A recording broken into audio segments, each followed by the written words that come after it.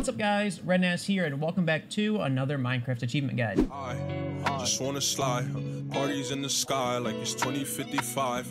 She said, boy, you nice. The achievement that we're going to be taking a look at today is called It's a Sign. Basically, for this achievement is just craft a sign. So what you're going to need for this achievement is a crafting table, but you're also going to need one stick and six of any wooden plank. So what you're going to want to do is put your stick in the bottom middle, and then you're basically just going to make a trap door above the stick. If you guys don't know the recipe for a trap door, it's just three by two of planks. This will craft you three signs, and as you can see, that will give you the It's a Sign achievement. If this video helped you guys out in any way, please feel free to hit the like button down below. It really helps out with the YouTube algorithm and it helps get my videos out to more people. If you guys have been enjoying these Minecraft guides and tutorials and all the various videos that I've been uploading, please make sure you hit the subscribe button down below. Also, tick the notification bell so you guys never miss one of my videos. And as always, my name is Rednaz, and I'll see you guys in the next video.